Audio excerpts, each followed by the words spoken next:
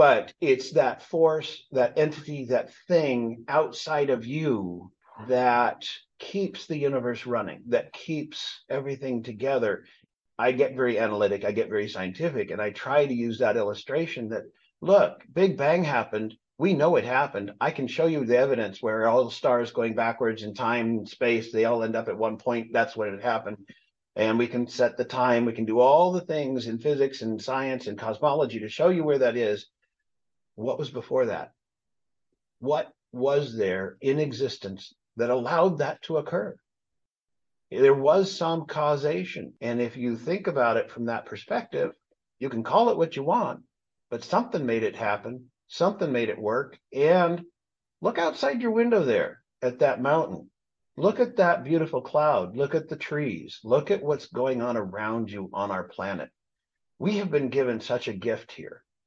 Every day should be an, just gratitude because we are allowed to be here on this planet. It is so beautiful and there is such variety and there's so much going on. And people are absolutely remarkable. And if you let yourself experience them and not worry about politics or whatever else, it's amazing. I heard it through the grapevine. Welcome. It's the AA Grapevine half hour variety hour featuring the collected voices of Alcoholics Anonymous. I'm Don, an alcoholic in Greensboro, North Carolina. Hey, Don. Hey, everybody. I'm Sam, an alcoholic in Palm Springs, California. Sam, I was shocked when I came to AA to find a group of guys hanging around outside of a church, smoking, laughing, cussing, and talking about God. and I thought, what is going on here? What have I gotten into? We are not a glum lot. We're not a glum lot. I heard a guy say this in my first year of sobriety. He spoke and he was hilarious. And I was talking to him afterwards, and he said, We're serious, but we're not solemn. That's it. So here's a Grapevine Daily quote from a few weeks back The laughter in AA is what attracted me from the very beginning. The restorative power of laughter should never be underestimated. I have come to believe that I'm being restored to sanity when my sense of humor is restored and I cease taking myself so seriously. That's from April 1976 from a story If You Feel Good, You're Not Normal in the book Happy, Joyous, and Free. Grapevine book. That's a great one. You know, folks, by the way, you can uh, subscribe to receive a daily quote email at aagrapevine.org. Man, I love these things. It's part of my everyday reading first thing in the morning. And you know, you and I know this, but everybody yeah. else can know it now that you know we we've got a little document going of of capturing the ones that we like that we may want to talk about on the show.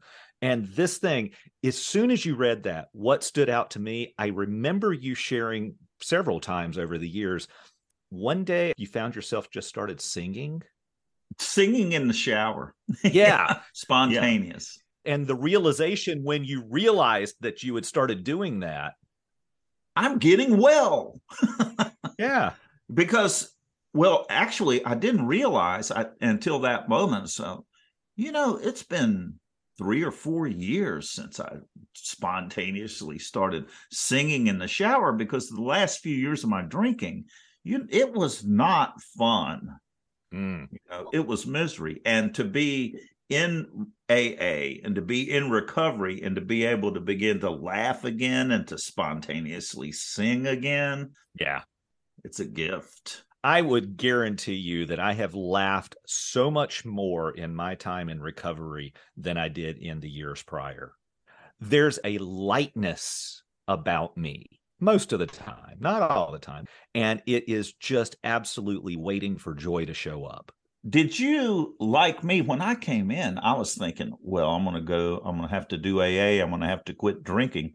There's not going to be any fun anymore, but I'm going to do it. it's going to be a long, slow slog through life. Right. And in no time at all, like the quote, what is it with these people? They're happy. You know, I thought that they were going to be really serious and they're going to be sitting in their rooms in their trench coats, smoking cigarettes and trembling and going, I think I'm going to drink. Don't do it. No, don't do it. and, you know, it's just not the way it is. Yeah. I love this thing that I, have heard said. I thought that I was going to get a consolation prize and I wound up getting the jackpot. That's it. In my drinking and partying years, I loved hanging out with alcoholics and addicts, you mm-hmm. know? Yes. They're the best people. I still do. They just drink and use. Yeah, that's right. They're still alcoholics and addicts. They're still that kind of person that I absolutely love. All that crazy energy. that's it. What's happening? Today we're going to have some fun on the podcast. Well, oh, what do you mean today we're going to have some fun? I'm reading his script right now, folks. today we're going to have some fun on the podcast! Exclamation! We always have fun, Don. Not like today. well, today we've got a rollicking game of Stump the Thumpers, our big book quiz show. Our guest is Greg T, and we're going to get to know him a bit and then play our game. You were talking about consolation prize, and instead you got the jackpot. We're going to see if our guest can get the jackpot. I'm looking forward to meeting Greg. I understand he's a real corker. mm-hmm. What page is that from in the big book? I don't know, but it's in there. and now the news. The August 2023 issue of The Grapevine will be about AA in the military. Stories are due February 15, 2023. Did you ever serve in the military sober? Were you ever stationed overseas or on a ship while trying to stay sober? What were AA meetings like in the military? What were some of the challenges? Did you find AA while serving? Tell us about being in AA while serving your country. You can do that at aagrapevine.org slash share.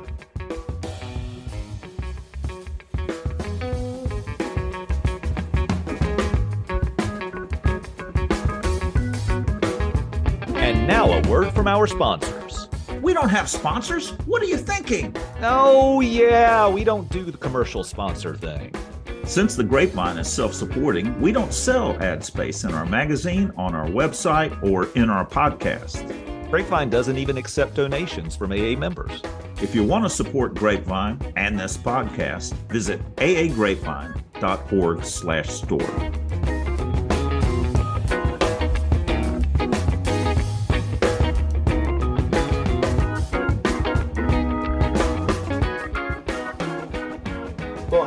I'm Greg. I'm an alcoholic and addict from Palm Springs. I was born in California. I'm one of those weird people from Southern California that actually has history here. My family's five generations. So I fully qualify. I started my drinking back in middle school. So I was 13 years old. Okay. Yeah, you qualify. you started drinking in middle school. Yes. I got into my parents' bar and just thought that was one of the ways to try and um, get over some social anxiety. I didn't fit in with all the kids there in school very well. I didn't know at the time.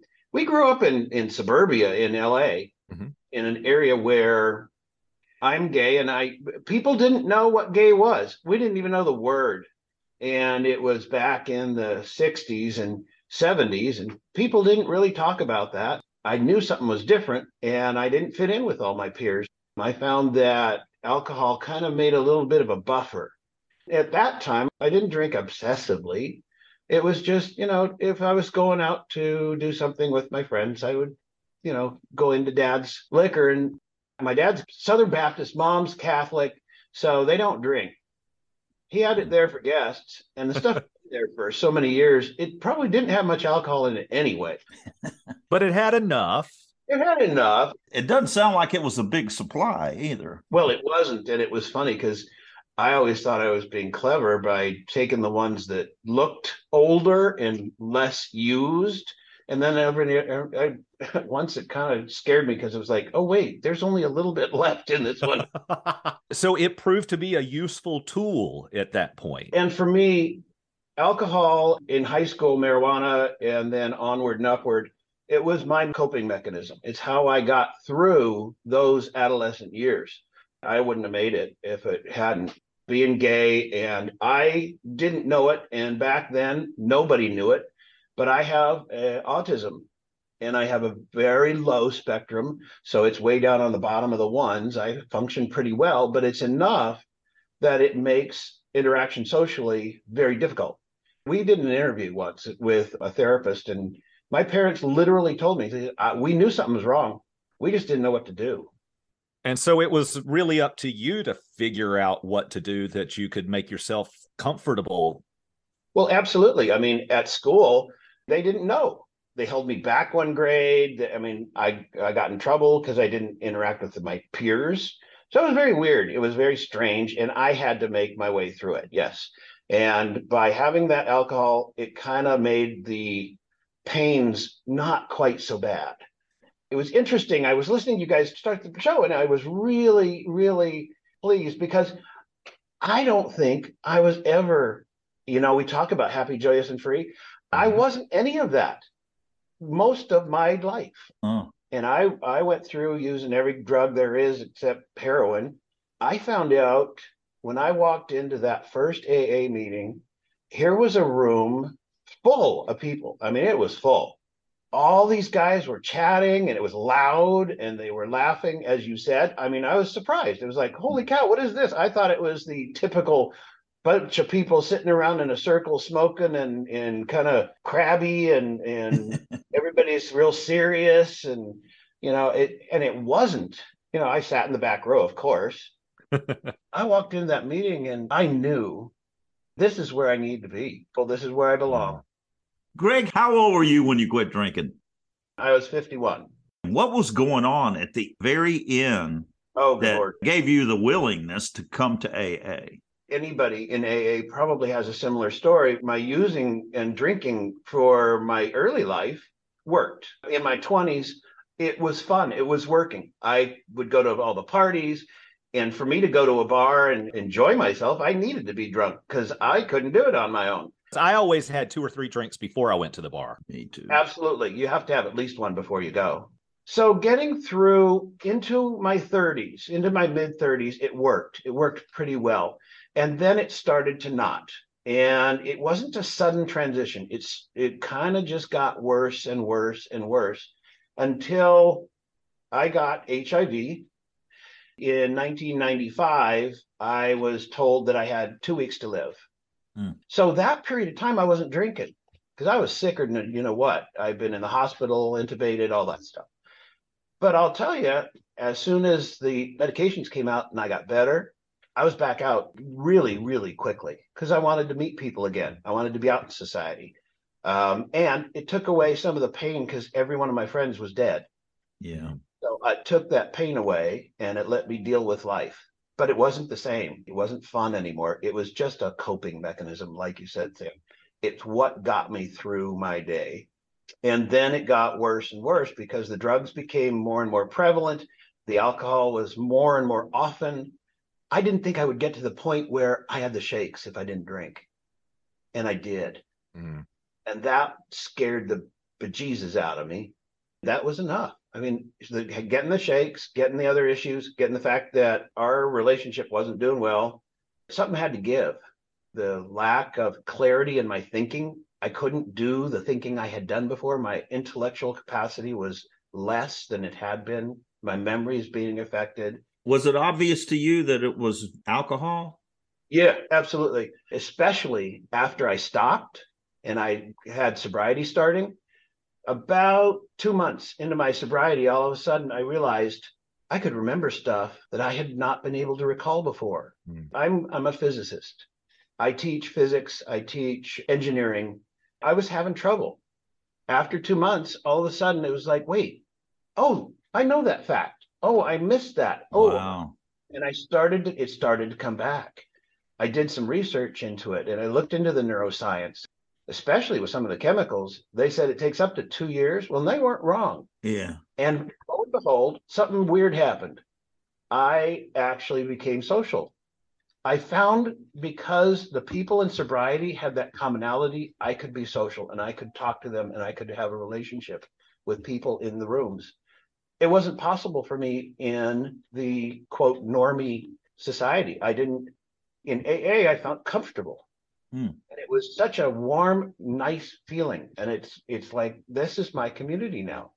I know for a fact the first five years of my sobriety, I'd get to the promises and they would say, Are these extravagant promises?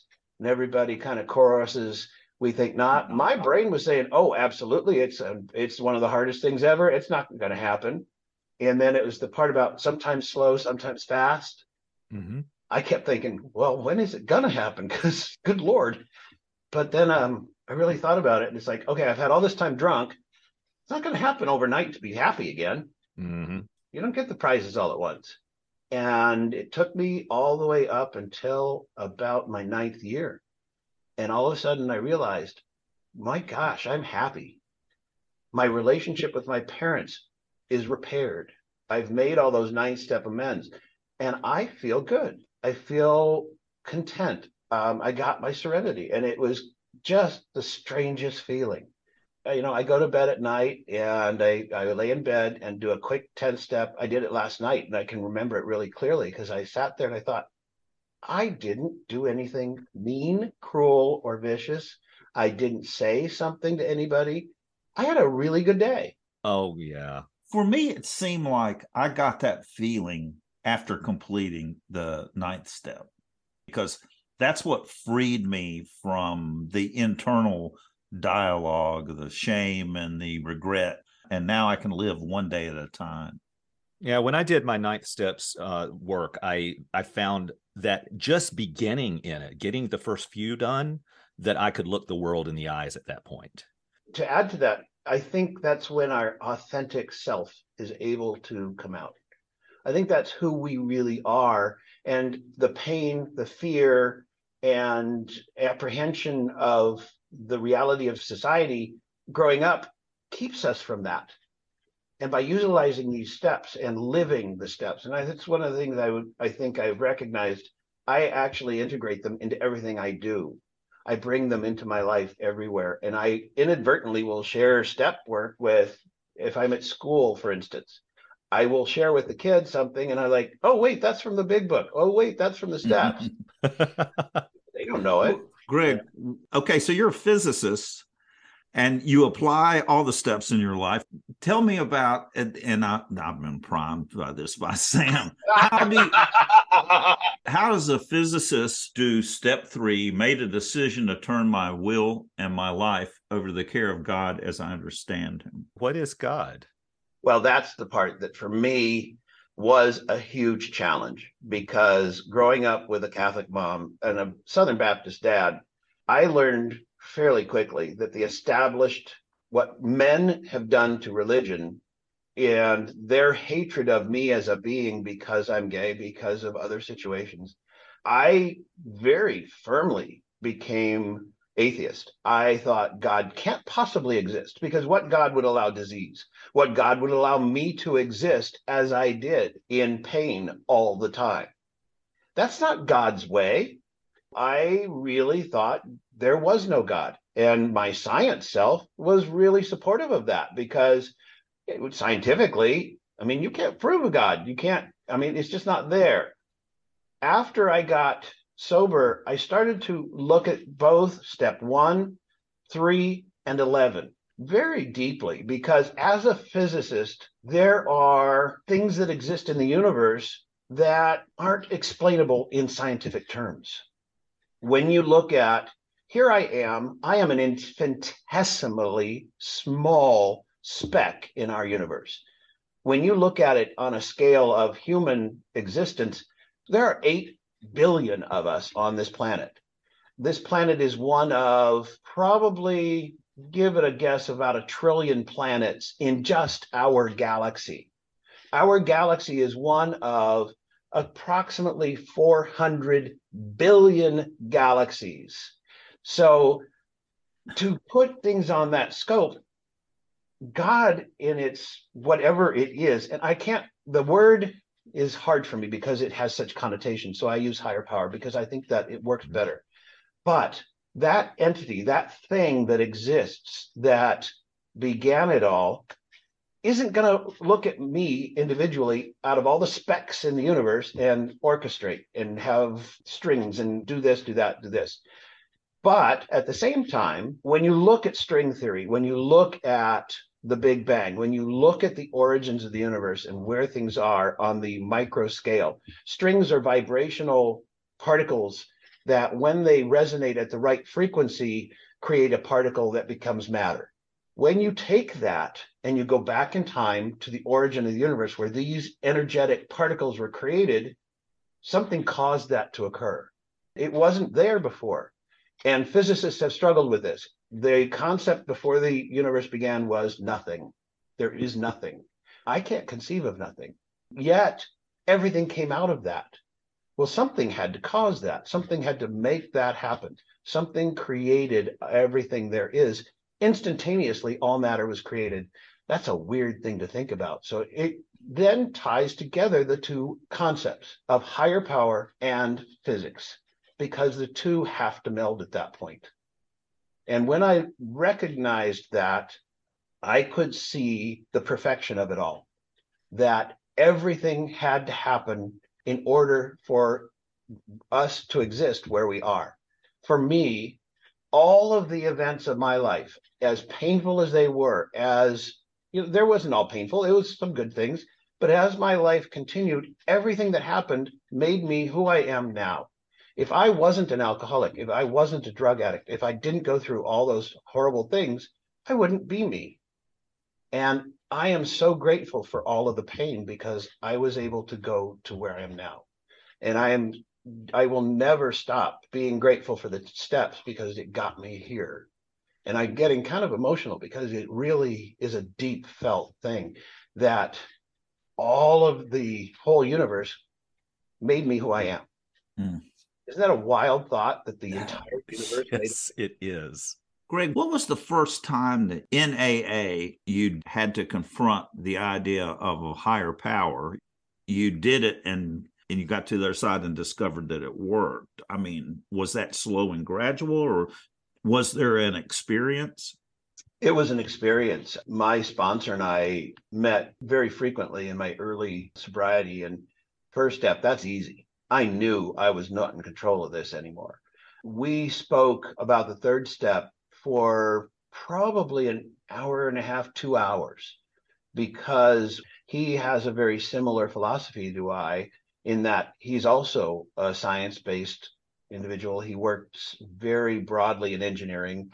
And so we connected really strongly and we were able to dialogue about it. And as we did, something changed inside me because he was able to kind of unwrap the whole idea of the scope of our universe and how I mean, I'm putting my words into it now, but it was just an amazing process because we got about halfway through our discussion and it was like a switch. It was like that quickly something changed and I went, "Oh, it was an aha moment." I hate using I hate aha moments. I know, but they're uh, real. but they're real and this was one. It was like we were talking and then it was like a light bulb didn't turn on. It's like, that's what it is. That's it. It was, there was an internal feeling. Something changed inside of me. You know, you talk about that warm feeling, but it was a uh, almost like a glow inside, which I don't know if that's a correct description, but oh.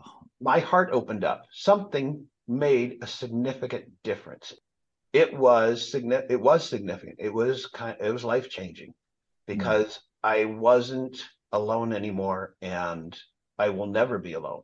So not only significant but lasting. Yes, absolutely. I became absolutely convinced beyond any doubt that there is an energy form, an entity, an existence that is out there that created the universe, that created me, and has again i can't say directly because i don't i don't i don't think that's how it works. It's beyond words. Yes it is. And it's it's a phenomenal thing and it's beyond comprehension. So i, I you know i kind of have to stop with words because i don't know how to describe it properly. But it, it is an ongoing thing. I experience all of my life every moment of every day. Once i got that through the rest of it came almost automatically. It made every other step just so easy. Can you give an example of turning your will over to higher power to, in your life and something positive happened out of it? It happens all the time. Simple things like in teaching credentialing process, I forgot to file some paperwork and it was stressful. Well, come to find out, I finally went home and I was like, well, I can't undo forgetting to file the paperwork. The next day, I found out that the office downtown had already done it because they recognized it and they put it through. Every day, I run into things like that. If I turn it over, if I just say, I'm not going to fix this, you know, I'm having trouble with my car. Its computer is a thousand dollars. I've put four of them in the car so far this year. And I had Ford put another one in Two days later, the little check engine light comes on, and I got really irritated. I got into myself. I'm like, oh my gosh, I got mad. It was like, okay, Ford, you got to fix it, etc. I realized after I'd gone through my day of being irritated, I kind of sat quietly and I thought, you know what? And I don't know where it came from, but you know, sometimes that little voice in the back of your head that a lot of us, including myself, sometimes attribute to the voice of God or whatever entity that is, is like, calm down, it'll take care of itself. Well, lo and behold, I started the car the next morning and the light went off and it ran beautifully and it still does. So I'm not in control of the universe. I can't make strings assemble to become atoms. That's not my job. and yes, looking at alcoholism, looking at drug addiction, looking at all of the things that I have that are my own defects, when I turn that over and I just say, look, I can only do so much that is tangible in the now. The rest of it is going to take care of itself through higher power. And I, I'm like every other human. I do ask. I'm like, oh, please help me with this one. And lo and behold, given a little bit of time and patience, if I don't get irritated and do something stupid, it nine out of ten times resolves itself, and usually in a favorable manner from my perspective. You're describing prayer as being like a recalibration, realignment. Yeah. That's absolutely true. I'm so glad you said that because prayer is a recalibration. And I start my day every day by a thank you. Thank you that I woke up. Thank you that I'm still here. In my work, I am constantly reminded and amazed at what an amazing planet we live on, what an amazing thing we are presented with that we live in this time when we have technology, when we have all the advantages that we have. I get to see 200 kids a day in my job, and they are amazing. They are just so exciting. AA has made life worth living again. Wow.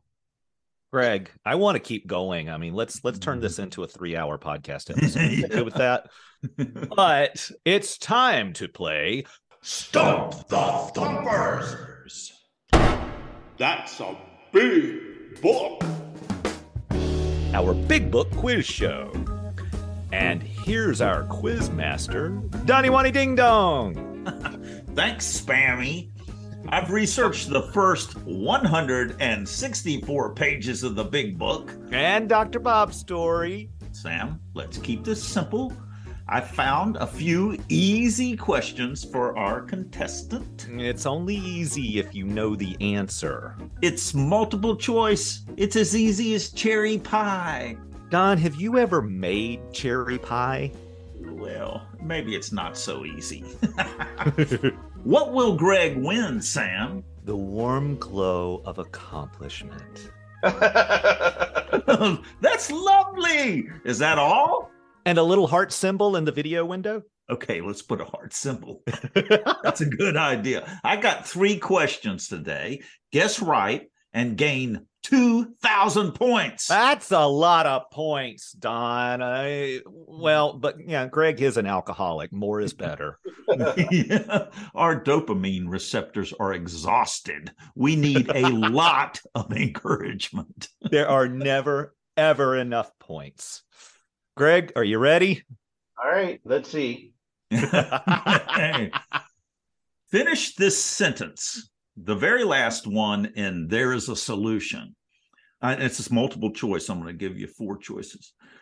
The sentence is We believe that it is only by fully disclosing ourselves and our problems that we will be persuaded to say, one, damn little to laugh about that I can see. Two, yes, I'm one of them too. I must have this thing. Three, what do I have to do? Or four, an alcoholic in his cups is an unlovely creature. So, finish the last sentence in There is a Solution. We believe that it is only by fully disclosing ourselves and our problems that we're persuaded to say, I believe it's the third one. What do I have to do?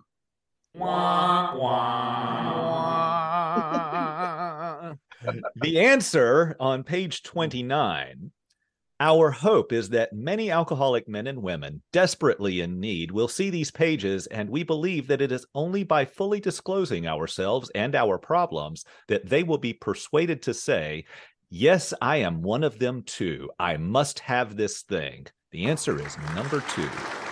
Greg, you have zero points. But you know, what do I have to do? It's kind of similar to, yes, I'm one of them too. I must have this thing. It's absolutely similar, but we know that you're a stickler for exactitude. What's the next one, Don? Okay, there are many things the big book is trying to do. What is the main purpose of the big book described in the foreword? One, to give us clear examples of living sober. Two, to teach us how to moderate. Three, to make a nice doorstop. Four, to show precisely how we have recovered. Oh, that's that. I believe it's number four. Ding, ding, ding, ding, ding. Yes, absolutely. The answer is to show other alcoholics precisely how we have recovered is the main purpose of this book. Number four, to show how we have recovered. You have 2,000 points, Greg. Man, that's awesome. 2,000, 2,000. 2,000 points. This is the last question in Into Action.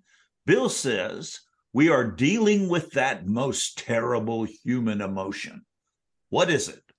One, anger. Two, jealousy. Three, revulsion. Four, boredom. Number two. Two, jealousy. Woo! Ding, ding, ding, ding, ding. You are correct on page 82. Keep it always in sight that we are dealing with the most terrible human emotion, jealousy. The answer is number two, jealousy. That's 4,000 points, Greg. 4,000 We points. Have a winner, Don. Woo-hoo! nice work. I tell you what, that last one, as I was reading it, if you couldn't hear the big book being said, anger makes as much sense as jealousy. That's where I went immediately. And then I read the answer because I can do that. And it's funny because one of the things my mind immediately went to was fear. Ah, yeah. So I mean, I- that's the underlying thing for all of this. yeah, anger comes from fear. a thousand forms of fear. What? Oh, now I can't do it. I can't do it from memory. A thousand forms of fear, jealousy, resentment, and there- he, lists about four things there. Yeah. Which, yeah. if you add all those up, it's a lot more than a thousand. That's like four thousand things I've got to worry about. I'm starting to think you're not really a big book thumper, Don. I'm not a thumper. I can't do it. I've got no memory. I have to look these things up too. No, I'm I'm doing this to try and find a thumper. well, Greg, tell me. So you won the game. Are you you experiencing that warm glow of accomplishment? You know, it's funny because I I actually am, but I think that comes from being able to just share some of the the revelations that I've gotten through AA. I think just the steps and what we've done here. I feel absolutely wonderful about sharing. Every time I do it, it I walk away with that warm feeling. yeah. Greg, that is such a perfect way of putting that. Thank you. And thank you so much for joining us. Thanks for being here today, Greg. Oh, it's my pleasure. It's it's actually really fun now that I've done it. It's really a good experience. I thank you for having me. Everything's better afterwards. Truly.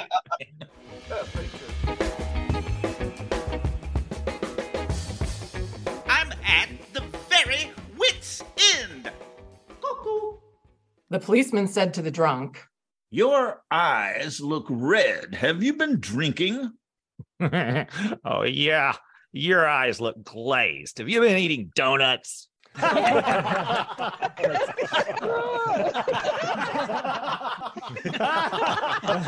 it's really not that funny. Thanks for joining us. The AA Grapevine Half Hour Variety Hour is posted every Monday and is produced by AA Grapevine Inc. We don't speak for AA as a whole, we share the experience, strength, and hope of members to help others recover from alcoholism. Podcast info, including how to call in, is at aagrapevine.org slash podcast. Find AA Grapevine on Instagram and the AA Grapevine channel on YouTube. All things Grapevine are available at aagrapevine.org.